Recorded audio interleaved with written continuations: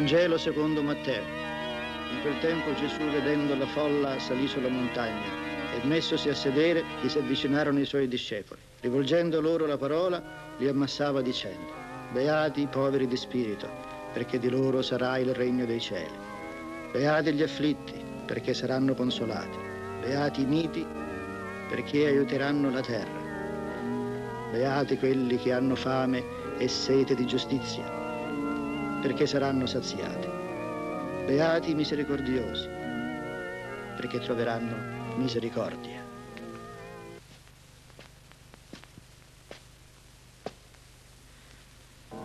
Giuseppe, io ti battezzo in nome del Padre, del Figliuolo e dello Spirito Santo.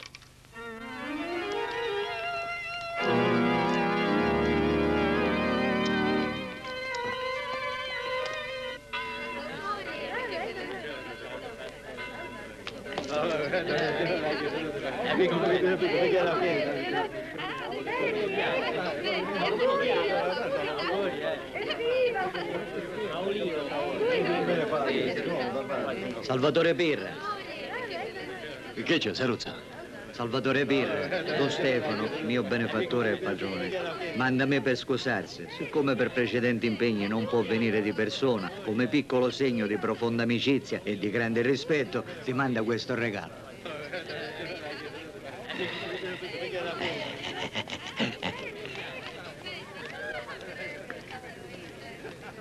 Amici, Don Stefano Sciuti, mio e vostro grande amico, non potendo onorarmi con la sua presenza per importantissimi impegni personali, mi dimostra il suo affetto e la sua stima inviandomi questo prezioso dono per mio figlio. E io... Dori! Dori! Dori! Assassini! Me l'hanno ammazzato! Assassini! Oh, me l'hanno ammazzato! Giuro che me la pagherete! Ma perché? Perché?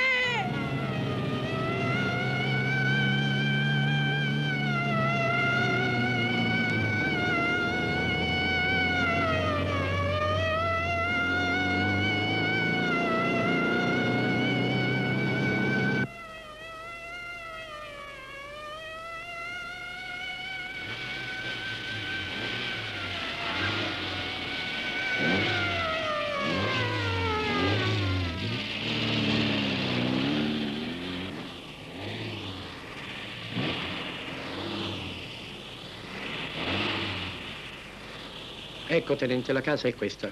Tutto lo stabile appartiene a Giulio Garresi e alla sua famiglia. Il portone è aperto. Vuol dire che gli amici hanno già fatto sparire ogni traccia. È chiaro che ci aspettano. Entriamo.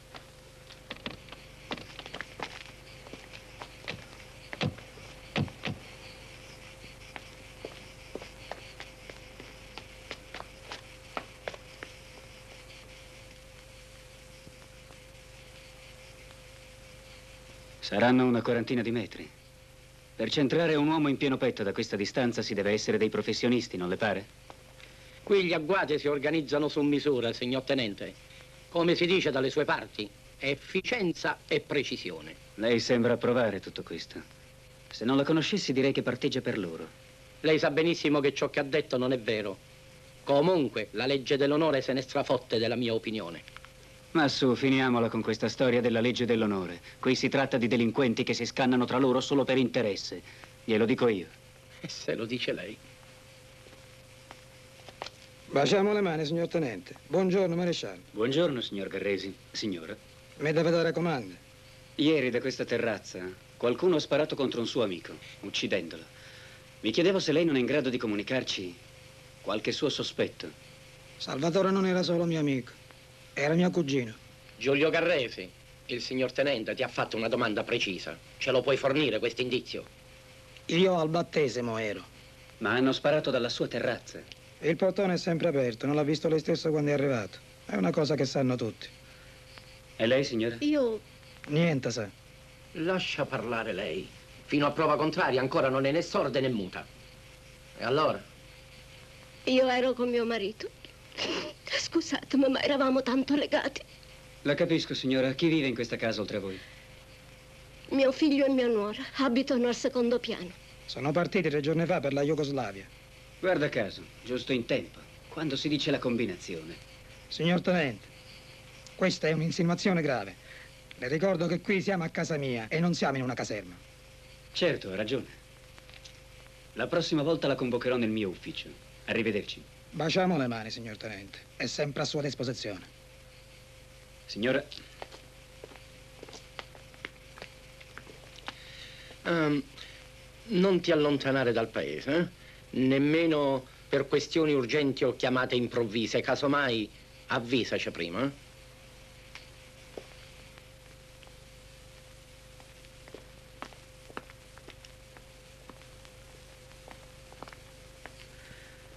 Chiaro che Garresi ci ha mentito e sono certo che in questa storia c'è dentro fino al collo. L'unico momento di sincerità l'ha avuto quando ha parlato del figlio. Quello sì che è un ragazzo onesto e buon lavoratore. Andiamo.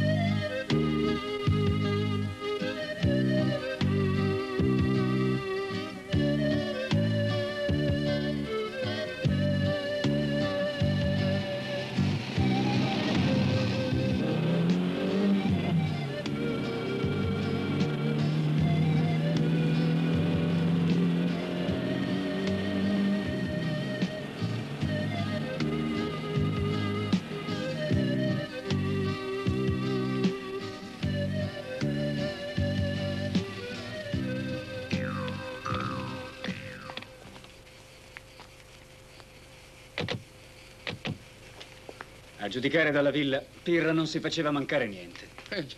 Speriamo che la vedova, almeno lei, ci fornisca qualche elemento utile. Non si faccia illusioni, tenente. Sono nell'arma da circa 30 anni e ho imparato a conoscerla questa gente. Noi non ci riusciremo mai a riscuotere la loro fiducia. Si fidano solo della loro legge. Non dimentichi, maresciallo, che stiamo parlando di assassini bestiali e feroci, per i quali la vita umana conta meno di niente. E lei non dimentichi, signor tenente, che questi assassini bestiali e feroci, come li definisce lei, se leggiamo le statistiche, sono in numero inferiore a quello di molte altre regioni d'Italia. Questa terra è fatta di gente onesta e di ottimi lavoratori. Va bene, va bene, andiamo.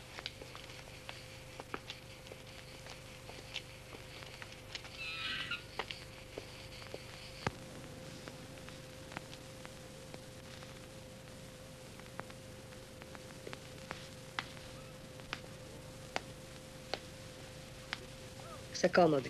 Grazie. Capisco che non è il momento più adatto, ma a volte il dovere ci impone anche questo. Mio marito ha sempre fatto del bene a tutti. Era un uomo generoso. Come poteva avere dei nemici?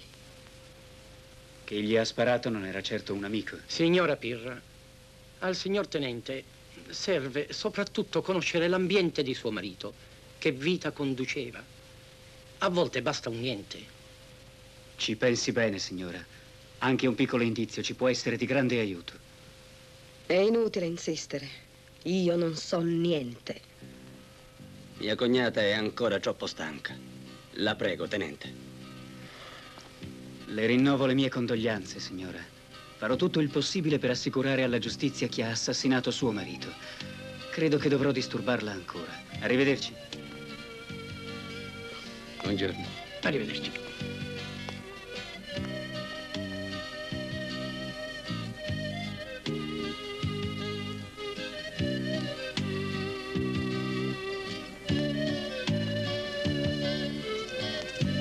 Bacio le mani, signor Tenente, mi rispetti, ma Vogliamo la mano, ma ma- si benedica. E a te? Perché non ti ha salutato? Perché ce l'ha con me, signor Tenente. Al processo per l'altro attentato contro Pirra fu io ad accusarlo di falsa testimonianza. Ma come sarebbe? Salvatore Pirra aveva già subito un altro attentato. Sì, certo, l'anno scorso, proprio di questi tempi. Per Dio! E non mi avete detto nulla. Il vostro comportamento è inqualificabile. Vi riferisco tutti alla commissione di disciplina. Signor tenente, lei sta parlando con un benemerito dell'arma. Io stesso le ho portati i fascicoli con i resoconti di servizio degli ultimi cinque anni e li ho consegnati a lei nel suo ufficio. Lei stava parlando al telefono con la sua fidanzata e mi pregò di lasciare i fascicoli sul suo tavolo e che poi li avrebbe letti. Come potevo immaginare che non ci avrebbe dato nemmeno uno sguardo? Lavia, portami subito Manna in caserma. Con vero piacere, signor tenente.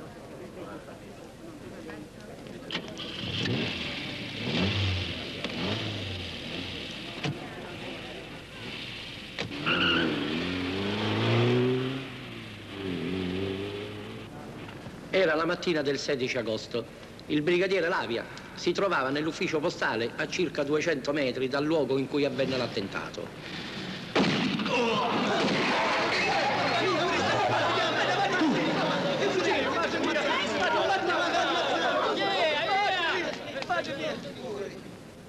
Ed ora vuole essere così gentile da dirmi perché scappava subito dopo gli spari? Io non scappavo. Eh, andava a passeggio, non si è accorto di niente. E come mai stava seduto ad un tavolo vicino a quello della vittima predestinata e per di più in compagnia del fratello? Non sembra anche a lei una cosa alquanto strana, signor Manna? Nino stava cercando di farcela pacificare. E questo Prasca Gaetano, che stava seduto al tavolo di Salvatore Pirra, chi è? Un comune amico, anche lui stava lì come pacere. Un pacere per tavolo? Eh, usanza, eh? Bene. E guarda caso, il Prasca, subito prima della sparatoria, ha sentito il bisogno di andare al cesso. Come lo spiega? Senta, signor Tenente, di questa faccenda se ne è parlato per settimane in tribunale. L'ho detto ai giudici che non sapevo niente. I giudici mi hanno creduto e lei no. E mi dica quale fu la causa del suo litigio con Salvatore Pirra. Mi aveva offeso pubblicamente. Mi aveva sputato in faccia. E così, invece di lavare l'offesa col sangue, lei ha accettato di battezzargli il figlio e di farselo compare. Mi dica perché. Il San Giovanni, insomma, il battesimo, qui è un patto sacro, ecco. Quindi, essendo il San Giovanni un patto sacro, se lei avesse saputo del pericolo che correva il suo compare, l'avrebbe avvertito. Può andare, signor Manna. Ma sappia che io non le credo.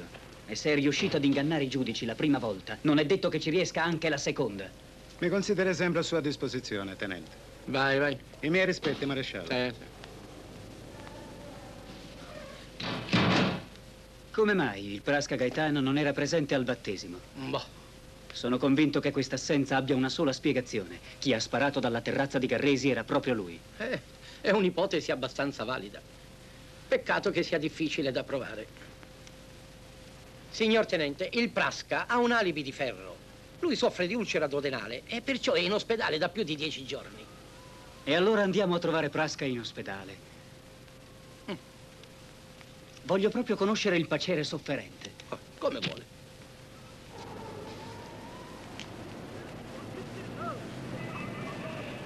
L'abbiamo dovuto sistemare in una singola. Vede, tenente, questa è la terza volta che lo ricoveriamo d'urgenza. Se non si decide a farsi operare, l'emorragia lo ammazzerà. La prego, mi scusi. Senti. Questo non vuole parlare. Vieni qua, ti ho Eh, detto. No, no, ho troppa paura che viene Jack. Lo sai che non può venire Calmati, nessuno. Baciami. calmati, per carità. Poi... A casa ti do tutto, aspetta. Gioia. Mi pare che sento Zitta. rumore. Ma mi ascolti? Ma... Minchia che Senti, bella. No, no, non mi fai il solletico, lo sai. Ma fai impazzire. No, Tano. No, Tano, viene qualcuno, lo Non sento. può venire nessuno. Ma è naturale. eh? Di fronte a certe situazioni, la scienza si trova con le mani legate. Eh, fammi sentire l'uccellino. Sì, Rosaria. Ciu, ciu, ciu, ciu, ciu. Vedo. Hai visto? Te l'avevo detto. Che vergogna. Zitta. Certo, tenente, sempre a sua disposizione. Eh, Ai, Rosario, c'è temore. Calmati, Danuzzo. Ai, Ecco, ai, professore, alla fine. ah, il tenente le vuole fare qualche domanda. Quanto Sono qui, mi so. dica. Veramente vorrei parlare col signor Prasca in privato. Ah, eh, certo, signor Tenente, come comanda? La signora è sua moglie. Allora, se lo desidera, può E rimanere. mia moglie la No, lasci. troppo buono. Quanto è buono. Senta, Prasca, capisco che questi non sono né il luogo né il momento adatti. Non si preoccupi, tenente. Faccia il suo dovere che io farò il mio da bravo cittadino. Rispettoso della legge. Ai, ai, ai, ai, ai, ai. Penso che sia stato informato della disgrazia, vero, Prasca? Me l'hanno detto. Me l'hanno detto in questa stanza, in questo posto di dolore. Sabato Reggio. Amico mio fraterno. Ai. Ah, no. Ah, Le lacrime, cerca di conservarle per dopo. Adesso risponda alle domande che ti rivolge il signor tenente. Lei lo sa, maresciallo. Cos'era quell'uomo per me, no? Lo so, lo so, lo so, tutto lo sappiamo. Adesso però cerca di calmarti, chiaro? Ai ai! No, madonnuzza mia, Tani, non fare così, fai male a te e a mia. Visto che era tanto affezionato a Pirra, me, dovrebbe aiutarci a scoprire il suo assassino e a punirlo come merita. Se lo sapesse non verrei da lei. Gli strapperei il cuore dal petto. Ai ai, Rosaria si riapre. Ai, Sant'Antonino, chiamatemi a voi. Ai ai, muoro. Dai. Mi sento una lava. Appena se ne va il Mi si tenente, la ti faccio una ma però stai calmo se no t'acchiana la febbre non c'ho modo. Ai, ai, ai, non mi vedo nessuno più. Non ci vedo Ora più. ti fa una punturina e ti passano tutte cose. Stai morendo. la morfina Rosaria mia. Non ti devi spaventare. Rosaria mia. Non ce la faccio fare così, signore. Ma sta la bella Calma, non. Ci vedi bene, non vai, faccio? Come faccio? Come faccio? C'ho una lava. C'ho una lava. Non ce la faccio più. Voglio morire. Gesù. Gesù, aiutami. Voglio morire. Non ce la faccio più.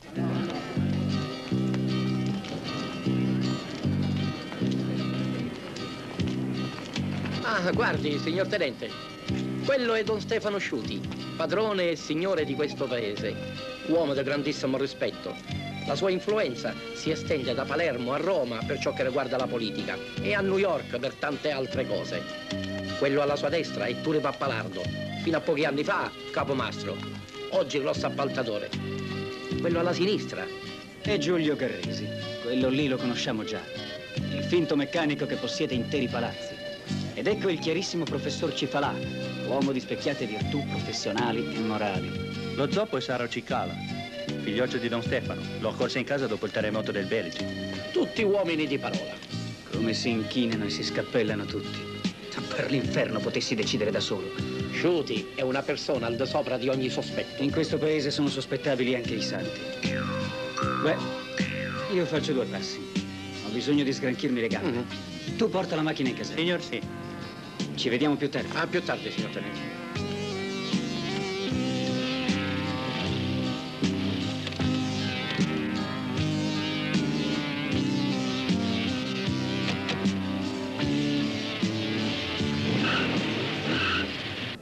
Professore ha detto che sei ancora troppo debole, mi ha raccomandato Rosaria, sei una camorria. subito a casa. E ti ho detto che ho E da allora fare. mi devi promettere che non ci vai a bere con i tuoi Minchia, ora mi stai rompendo le Ma mani. io per il tuo bene E parlo. per il mio bene vaffanculo. Buffa. Però poi quando ti senti male non devi venire a sfogarsi Sei con me. proprio eh? una cimice. Ti ho Tano. detto che non vado a bere. E allora tu mi devi giurare che appena finisci con gli amici torni subito a casa e non mi fare Oh. stare in pensiero. E allora me lo stai facendo proprio apposta. Per farmi scoppiare sto vulcano qui. Colpa tua! eh. Tua! Eh, gioia mia. Stasera ha fatto trovare con la catena nei fianchi. Ti Mi piace, eccita ah? tanto. Eh, Ciao, Gioia. Ah, però, però, giuramento non mi facessi, minchia. ah! Tano, Ancora. sentimi! Ma non mi puoi dire, mettiti la catenina a fianco e te ne vai. Tu mi ci pigi, fissa. Stai andando a bere, ti conosco da Rosaria, mi hai rotto i coglioni. Te ne vai a casa. Quanto e che sei antipatico!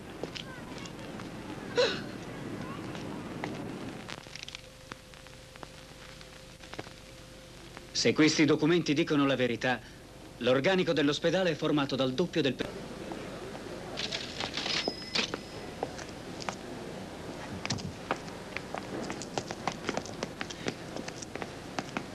Buongiorno. Buongiorno, maresciallo. Buongiorno. Buongiorno. C'è il signor Stefano Sciuti?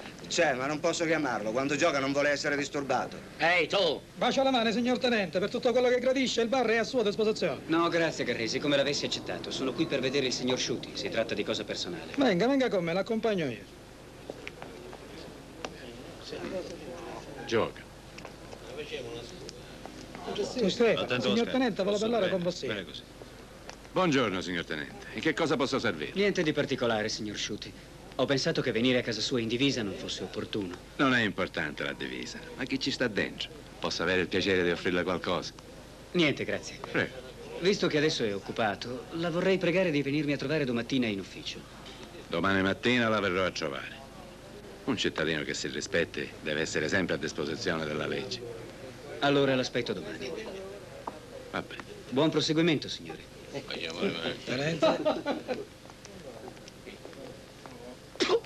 Bestia, non ti permettere di rifarlo. Non si sputa alle spalle della gente che fa il suo dovere. Impara a sputare contro quelli che se lo meritano, ma non alle spalle, in faccia.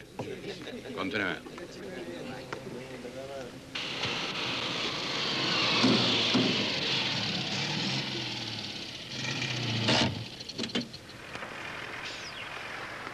Sapete che vi dico? Si facessero assumere dai sindacati e si facessero sfamare da loro. Io mi sono rotti i coglioni. Buongiorno, signora. Desidera qualche cosa? C'è mio compare. Luigino, avvisa il principale. Va bene. Basta. Almeno troviamo una base per una trattativa. Permesso? Scusate un momento. Che c'è? Sta fuori, è sceso con mare. Va bene, vai. Ti mandiamo un'altra volta. Arrivederci.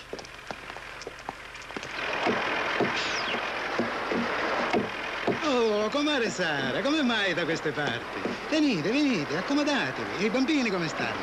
Bene, spero.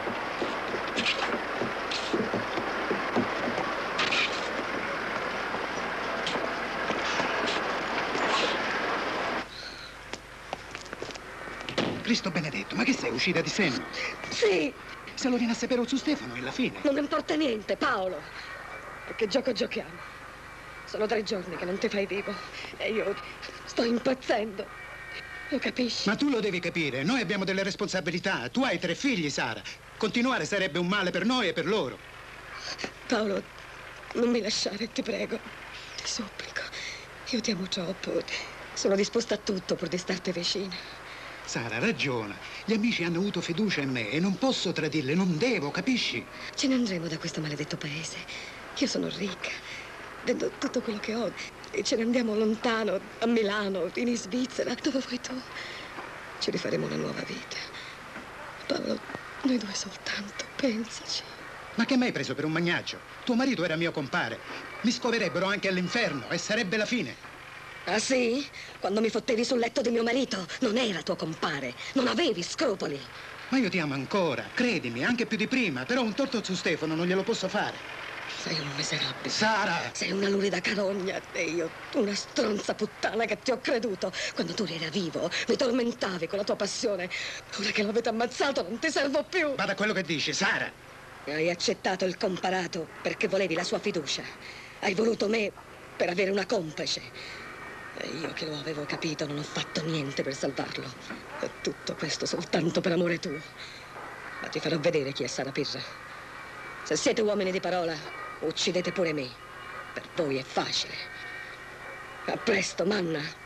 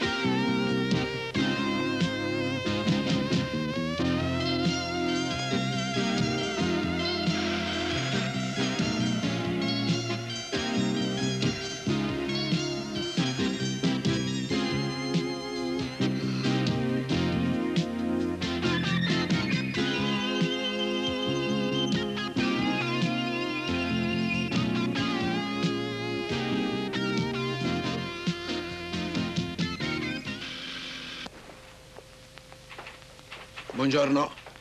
Buongiorno. Dovrei parlare col tenente Balde, mi aspetta. Qual è il suo nome? Gaetano Prasca. Zanzara 3 a comando, Zanzara 3 a comando, incidente al chilometro 20. C'è Tano Brasca in sala d'aspetto, che facciamo? Facciamolo aspettare un po'. Il riposo gli fa bene. Pronto? Sala operativa Tenenza. Incidente al chilometro Se puoi parlare, prendo un appunto.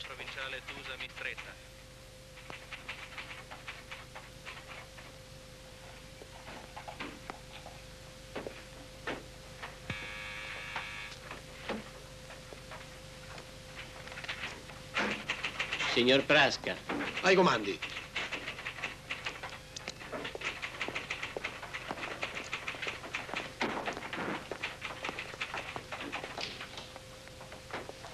Vieni, Tano. Bacio le mani, signor Tenente, maresciallo. Non appena mi sono sentito meglio, sono venuto qui da lei. Allora il suo duodeno va bene. Eh? L'ulcera, Tano. Le ho chiesto come va la sua ulcera. Ah, ogni tanto fa i capricci, signor Tenente. Grazie per il suo interessamento. Lei si dovrebbe operare, è ancora giovane. Non mi dica che ha paura. Ah, da morire. Al solo vedere una siringa, paffate, casco per terra. È troppo sensibile. Ecco, appunto. Eh. Sensibilissimo. Eh. S'accomodi. Grazie. Sarà ancora debole. Lei conosce la ragione per cui ho voluto vederla? La immagino, almeno credo. Bravo. Ero sicuro di poter contare sulla sua immaginazione. Lei lo sa che è un tipo scherzoso, signor Tenente. Maresciallo, puttana la miseria puttana. Tano, eh, noi carabinieri tutti simpaticoni siamo. Eh, appunto. Frasca, Ah, quando finirà di ridere, vorrei che mi parlasse del primo attentato subito da Salvatore Pirra. Lei era presente. ah. Salvatoruccio, sì. Mi creda, non ci posso pensare. E tu non ci devi pensare, Tano Prasca. E risponda alle domande del signor tenente. Ah, Maresciallo, ma lo sa con rispetto parlando che se non mi alzavo per andare a pisciare, a quest'ora poteva essere pure morto, eh? E sai che perdita, eh? Non mi ci faccia pensare, maresciallo. Ancora, non ci devi pensare, devi rispondere alle domande. Mi dica, signor Tenente. Per tornare al caso Pirra, caro Prasca Gaetano, sono certo che lei l'attentatore lo conosce. Non solo, ma sono anche convinto che lei o non può o non vuole parlare. Io? E come fai a essere convinto di una cosa del genere? E allora mi sta accusando di complicità? Eh, E allora è vero che uno più buono è e più inculato è? Eh? È proprio io complice di quei disonesti? Eh? Voi potete dire tutto quello che volete, certo siete la legge. Io sono un povero disgraziato. Io sono... Ah, ah, lo sapevo. Ai, mamma! Ai! Mi sta scoppiando l'ulcera, maresciallo, datemi aiuto! Ostia, Se non la finisci di fare lo stronzo, ti giuro che ti infilo due dita nel culo e te la tiro fuori io la tua ulcera. Ai! Apra bene le orecchie. Sì. Pronto? Ah, signor Sciuti, buongiorno. Ma certo, mio dovere, si figuri. Non si preoccupi. Va bene. D'accordo. Arrivederci. Che cosa succede? La vedo turbata. Era il signor Sciuti. Siamo diventati grandi amici, lo sa? Affare vostro sono. Io mi sento male, se vostra permette vorrei andare. Vada, Prasca, vada. Alzate, Tano. Ma stia bene attento. Io questa faccenda intendo portarla fino in fondo. Ci rivedremo presto. Come vuole. Se non la trasferiscono. Io sempre qui sono. Sei più sollevato, eh? Maresciallo, mi sentivo come lo scarafaggio nella stoppa. Eh. Bacio le mani. Vadi, ne cammino. Vai, vai.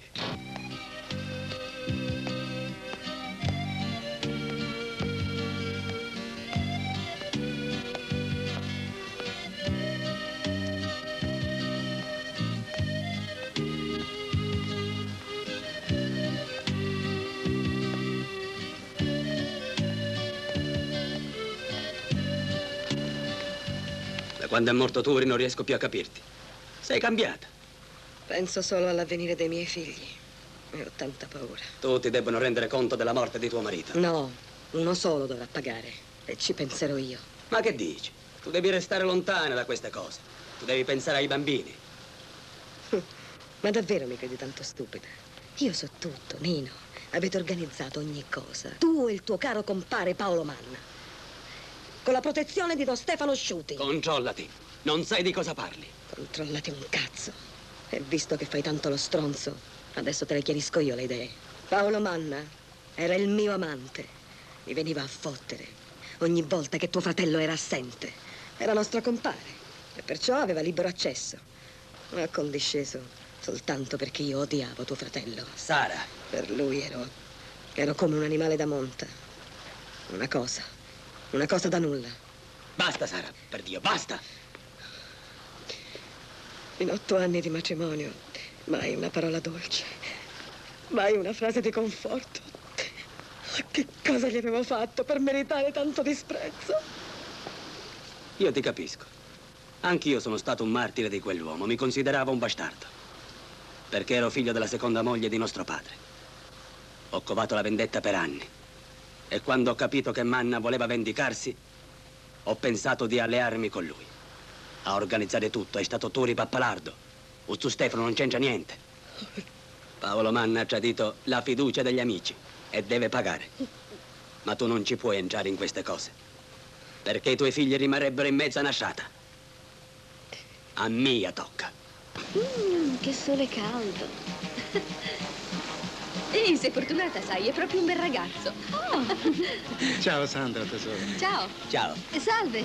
Questo è Nino. Piacere. Io sono Cristina. Allora, che facciamo? Ah, non lo so. Aspettiamo una vostra proposta, no? Che ne direste di una bella zuppa di pesce e dopo di una bella gira Un mare meraviglioso oggi. Tu che ne dici, eh? Mm, per me è un programma allettante. Io ci sto. Allora, che Va aspettiamo? bene, andiamo, coraggio. Su, sì, andiamo. Avete fame? Eh, sì, insomma, un certo, pochino. Il sole del mare mette sempre fame. Sì, è vero, è vero, anche che il sole. Ah, meno male. Eh, andiamo, andiamo, sì. È qui vicino, sì. Meno male. Io sono il conte Bravo Orlando, il primo paladino della cotte di Gallomagno.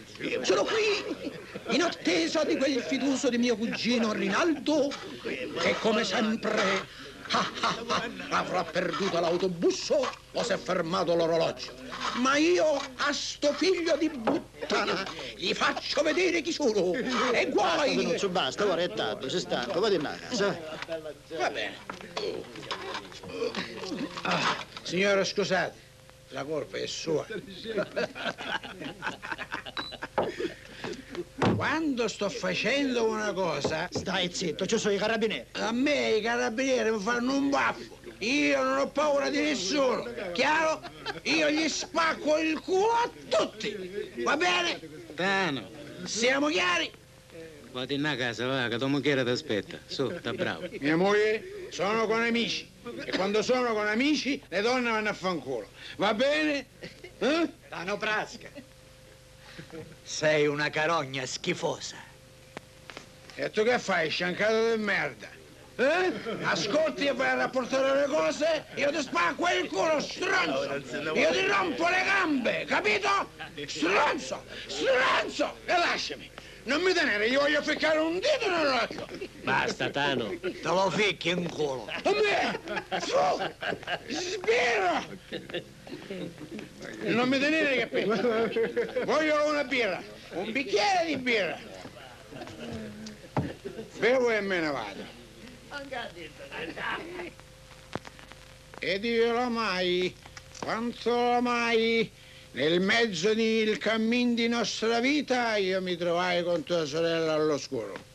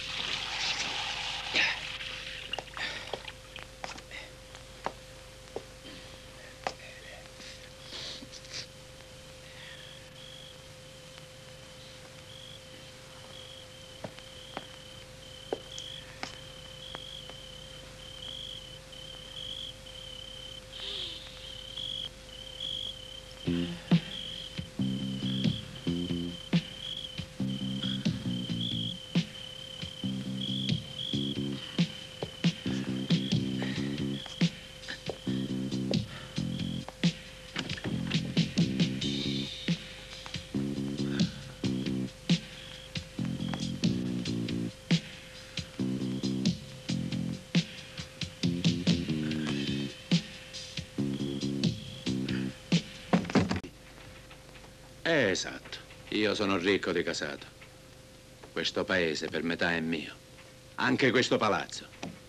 Ho voluto costruire l'ospedale alla memoria di mia moglie, che era una santa donna. Questo non spiega perché ha assunto tutti quegli avanzi di galera. Vede, tenente, spesso sono, sono le parole che noi usiamo che hanno un significato ambiguo. Lei li chiama avanzi di galera. Io li chiamo persone che hanno sbagliato e hanno pagato. La società li evita queste persone, addirittura le emargina. Decreta per loro la morte civile. Io invece no. Io riconosco che chi ha pagato ha pure il diritto di rifarsi una vita. Ma lei è proprio sicuro, don Stefano, che non ricadranno nell'errore? Maresciallo, io non sono sicuro di niente, ma loro sanno che la ricaduta a volte è peggio della malattia. Si può anche morire. Insomma, lei è il santo protettore di questo paese. No, no, non le scomodi i santi, signor Tenente. Non è il caso. Mi creda. Io sono uno a cui piace fare del bene e ricevere in cambio un poco di rispetto e di cortesia. E ora, se non sono in stato di fermo, vorrei andarmene. Ho tante cose da fare. Lei può andare quando e dove le pare. Poi, lo ha detto lei, questa casa è sua. Signor Sciuti, che cosa vuol dire pezzo da 90? Ma eh, a dire la verità non me lo sono mai chiesto. Sarà una parola importata dall'America. La ringrazio, signor Sciuti. Lei è una persona davvero squisita. Tenente, mi piace chiacchierare con lei. È un giovane intelligente. Ma ora devo proprio andare. Aspetto una telefonata da Roma. Politica. Politica, mio caro. Allora, don Stefano, oggi ho parlato con un pezzo d'accento. Ah, cento è il Padre Eterno, amico mio. Riverisco.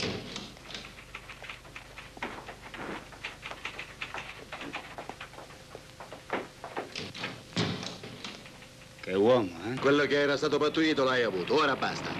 A tirarla troppo la corda si spezza e tu lo sai come finiscono queste cose. Ti dovrebbe convenire evitare guai, no?